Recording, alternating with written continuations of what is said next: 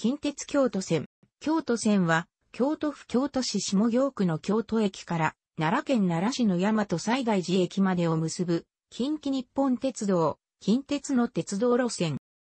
日本を代表する国際的観光都市である京都市と奈良市の都市間輸送及び沿線の住宅地、関西文化学術研究都市の足を担っている。また、京都市営地下鉄、烏丸線を介して、京都市中心部から奈良方面までや、京都から天理、橿原神宮前方面、伊勢方面へ直通運転しており、乗り換えせずに行くことができる。京都市内や東海道、山陽新幹線、北陸本線方面から奈良県や三重県中部、伊勢島地方への観光の大動脈としても機能する。新田辺紀伊南の沿線では、関西文化学術研究都市の開発により、宅地開発活発化した。1991年から西日本旅客鉄道 JR 西日本も並行する奈良線京都駅奈良駅間で快速列車を運転し対抗しているが、運転本数の多さで近鉄京都線がまだ優勢である。ただ、外国人観光客に関しては、ジャパンレールパスが近鉄では利用できないため、JR を使うケースも多い。新田辺駅から新放送の駅間では、JR 西日本の片町線、学研都市線とも並走している。全線で、スルッと関西対応カード及び IC カードピタパ、アイコカスイカなどの全国相互利用乗車カードが利用可能である。全線、大阪統括部、旧上本町営業局の管轄である。起点の京都駅は3階にある東海道新幹線ホームの真下の2階に所在し、2012年3月に4番線が増設され3面3線から4面4線構造に拡張された。1.2番線は主に特急や団体臨時列車の発車用で、急行、準急、普通はほとんどが3.4番線からの発車となっている。1.23番線は両面ホーム、4番線は片面ホームであり、その開花部分には飲食店や土産物店などが並ぶ近鉄名店街、都道がある。出発後はすぐに左へとカーブし、東海道新幹線をくぐって南下すると、東寺駅に着く。高架橋からは右手に、東寺の五重塔を望むことができる。この先竹田駅までは、高架線を走行するが、途中の上戸場口駅手前に設けられた渡り線には、近鉄線では2カ所でしか使用されていないノーズ道、式分岐器の一つが使用されている。竹田駅は、京都市営地下鉄烏丸線との共同使用駅で、上下線とも、島式ホームの外側に近鉄、内側に、京都市営地下鉄の列車が発着する。伏見駅を過ぎると、京阪本線の高架下をくぐり、京阪本線との乗り換え駅、近鉄丹波橋駅へ到着する。かつては、京阪本線との直通運転を行っていた時期もあり、駅付近にはその名残を垣間見ることができ、近鉄丹波橋駅を出発して、右に左にカーブするとすぐに、桃山五両前駅に到着する。この後も急カーブが連続するために、列車はスピードを落として走行する。この付近は、地下水が豊富で古くからの日本酒の名産地として知られている。やがて近鉄の名鉄橋である、折川橋梁を渡る。この辺りから列車の速度が上がり、橋梁を通過した列車は森土部分を走行し、右手には小倉池を干拓した広大な農地が広がる向島駅を過ぎ、宇治市に入って刑事バイパスをくぐって住宅街の中にある小倉駅を過ぎると、やがて高架駅の大久保駅に到着する。その後さらに列車は南へ進み、長大なプレートガーター橋の木津川橋梁を渡って、しばらく進むと、京田辺市の中心駅の新田辺駅に到着する。六両編成の普通、地下鉄、烏丸線からの直通の普通も含むや準急は、同駅までの運転となっている。この区間では、普通より急行の方が、列車本数が多く、普通も一部を除いて4両編成で運転されている。新田辺駅発車後は左にカーブし、しばらく進むと、同志社大学、京田辺キャンパスの最寄り駅で天井川があった、京子駅が見える。この先、近年高架駅となった宮間木駅より先は田園風景も見られるようになり、宮間木駅からほどなくして、1993年に新設された近鉄宮津駅と最大受験尺、宮津車庫が見えてくる。その先をさらに進むと、国立国会図書館関西館などのある京阪な学研都市の最寄り駅新放送のに到着する。片町線、学研都市線を渡り、列車はさらに南下するが、京都府内の駅は山田川駅までである。奈良県に入ると、すり鉢状の地形に設けられた平城ニュータウンの最寄り駅、高野原駅に到着し、列車は森の中を突き進む。やがてスピードを大きく落として、急カーブを右に曲がれば、平城駅に到着する。その後左にカーブすると、奈良線、橿原線と接続するジャンクション駅である大和西大寺駅に到着する。京都線はここまでであるが、列車の大半は、近鉄奈良駅、橿原神宮前駅方面へ直通する。京都線では、特急、急行、準急、普通が運転されている。急行と普通の一部は、竹田駅から京都市営地下鉄、烏丸線に乗り入れ、近鉄奈良駅、急行のみ、新田辺駅地下鉄国際会館駅間で相互直通運を行っている。以下に各種別の詳細を示す。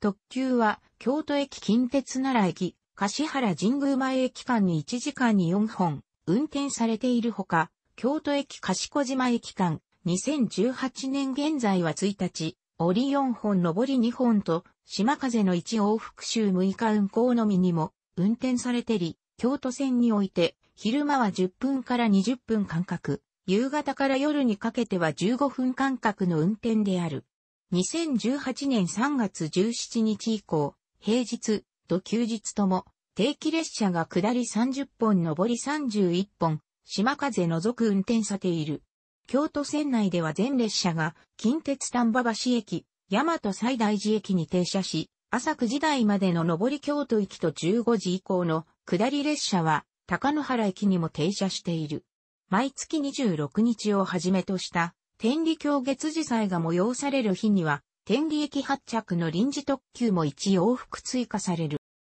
かつては近鉄奈良駅発着列車と橿原神宮前駅発着列車の一部が京都駅大和西大寺駅間で並結運転を行っていたが、2018年3月17日のダイヤ変更で全列車とも単独運転となっている。また、京都駅近鉄奈良駅間にアーバンライナー車両による特急が設定されていたが、2009年3月20日のダイヤ変更により、同区間のアーバンライナー車両の定期運用は消滅した。京都線の一般速達種別で、京都線内では、特急停車駅に加えて、東寺駅、竹田駅、桃山五両前駅、大久保駅、新田辺駅、新放送の駅に停車する。奈良線や橿原線への直通運転が基本で終日、京都駅近鉄奈良駅、橿原神宮前駅間のほか、長石時間帯には、京都駅天理駅間及び、京都発新田編、近鉄宮津、大和西大寺行き、また平日に上り一本のみ、高野原発京都行きが設定されている。近鉄宮津行きの急行は、他の定期急行の停車駅に加えて京子駅、宮間木駅にも停車し、同志社大学京田辺キャンパスへの通学客の利便性確保している。昼間時間帯と平日ダイヤの朝には、地下鉄、烏丸線国際会館駅、近鉄奈良駅間直通の急行も1時間に1、往復程度運転される。昼間時間帯は1時間に、京都駅近鉄奈良駅間、国際会館駅近鉄奈良駅間の系統が、それぞれ1本、京都駅橿原神宮前駅間の系統が2本の、計4本運転される。京都駅発着の急行が20分間隔で運転され、そこに地下鉄、烏丸線直通急行が一本挿入される形のダイヤとなっている。地下鉄、烏丸線からの直通列車も含めて、すべて6両編成で運転されている。また、2003年3月の快速急行の急行への統合以降は、特急と急行の運転間隔が異なるので、地下鉄直通を除き、大久保駅、新田辺駅、新放送の駅、高野原駅のいずれかで特急退避を行うようにな。2012年3月20日からは地下鉄直通を除けば特急と急行の運転間隔は同一に戻ったが同様の状況が続いている。地下鉄、烏丸線からの直通列車に関しては、竹田駅で近鉄京都駅発着の各駅停と接続する。急行の京都駅大和最大寺駅間の標準所要時間は40分前後である。早朝、深夜の特急退避がない列車は37から38分で走破する。また、昼間の新田辺キーナンでは、普通より急行の本数が多い。平日は朝に折1本上り2本、夕方に60分間隔で上下3本と休日は朝に1往復のみ、運転のため本数は少ないが、京都駅から新田辺期間で運転されている。京都駅近鉄丹波橋駅間は急行と同一の停車駅で運転され、近鉄丹波橋駅から新田辺期間は各駅に停車する。3駅しか通過せず、普通も追い抜かない、ただし一時期は、夕方の京都駅発の準急が上戸口駅で、普通を追い抜いていたことがあったが、現在は、準急と普通の京都駅での発車順序を入れ替えたため、追い抜きは廃止された、京都線の輸送力の保管の意味合いが強く、丹波橋駅で接続する京阪本線から京都駅への速達アクセスとしても機能している。ただし夕方の列車終点まで急行に抜かれないため、急行の混雑緩和に役立っている。編成両数は6両、または4両である。夕方下りの4両編成の準急は、新田辺駅から各駅停車に種別を変更して、大和にして来機として運転される。また、ユーラッシュ時運行の列車、朝にもあるは、京都駅での折り返し、場面で急行と準急の運用を入れ替える、新田辺車庫の出入庫列車の役割も兼ねている。すなわち、京都行き急行から折り返し新田辺行き準急、京都行き準急から折り返し近鉄なら、天理、柏原神宮前駅急行となる運用パターンになっている。なお、1994年までは、京都駅大和西大寺駅、近鉄奈良駅間に運転されており、当時は、向島駅を通過し、小倉駅近鉄奈良駅間は各駅に停車していた。1988年の地下鉄開業までは、竹田駅も通過していた。1960年代までは、京都駅から新田辺機関は急行と同一、新田辺紀南は各駅停車であった時代もあり、丹波橋駅南各駅停車、向島駅は当時未開業と新田辺紀南各駅停の設定が変動していた時期もあった。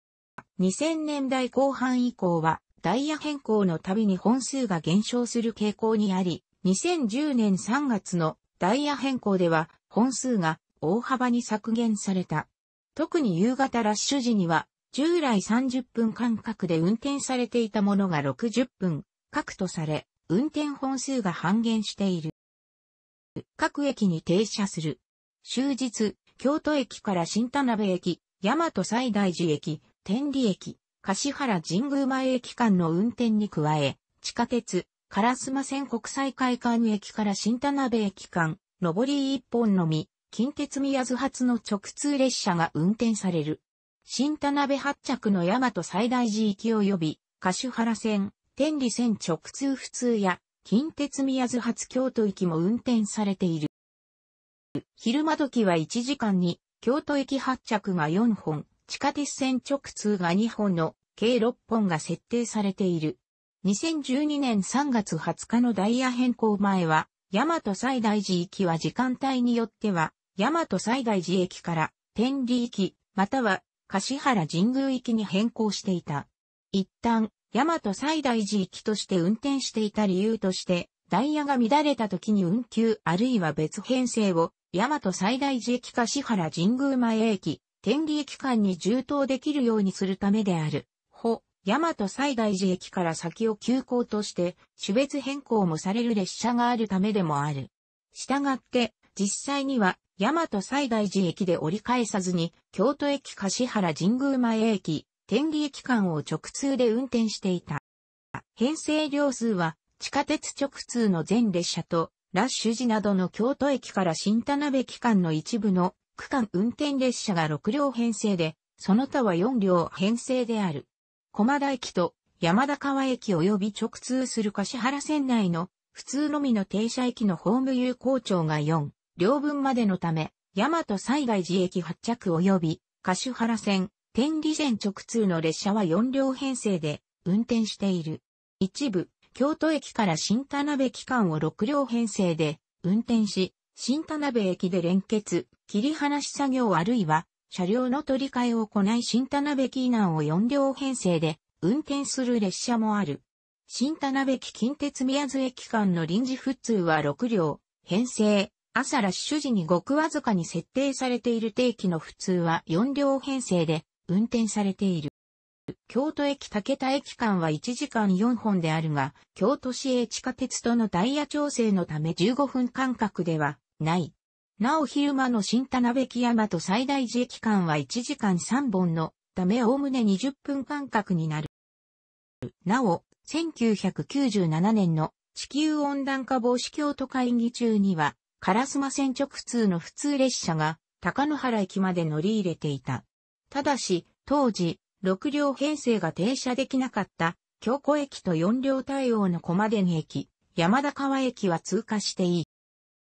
1998年から京都駅近鉄奈良駅間で日中に1時間あたり2本設定された。竹田駅、近鉄丹波橋駅、大和西大寺駅、新大宮駅、2000年からに停車し、竹田駅で国際会館駅発着の急行と接続して速達の向上を図った当時の日中は1時間あたり京都発着の快速急行と急行が2本ずつ、国際会館発着の急行が2本が、利用は芳しくなく誤乗も多かったため、2003年春のダイヤ変更で廃止され急行に格下げされた。以降、日中の竹田駅山と最大寺駅間の急行が1時間あたり6本となり、2012年3月19日まで続いた。定期列車が設定される前にも1988年のなら、シルクロード博覧会などの際にも臨時に運転されていたことがある、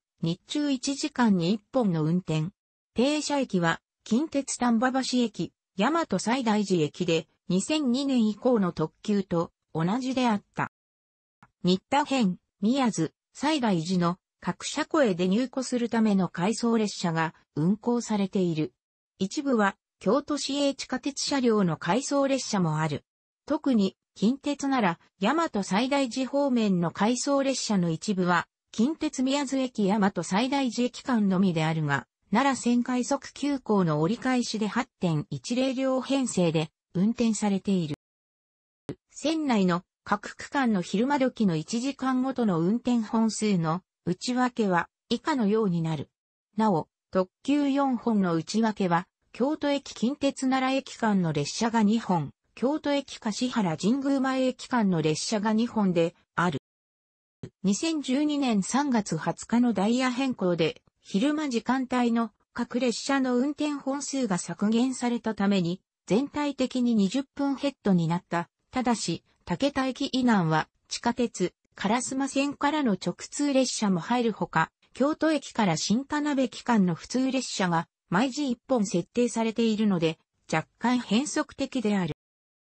同志社の京田辺キャンパス、同志社女子大学京田辺キャンパス開校日に運転される。朝方は京都発9時31分発新田辺行き急行1本が近鉄宮津駅に延長され、新田辺から各駅に止まる。ただし、天理教月次祭等開催時は、天理行き急行となり興戸、三山木、近鉄宮津の3駅を通過する。夕方は、近鉄宮津発新田編行き各駅停車が5本、運転される、15時18分、16時24分、16時39分、16時53分、18時24分発。その一部は新田辺から定期運転の京都行き準急や国際会館行き各駅停車へ変更され、運転される。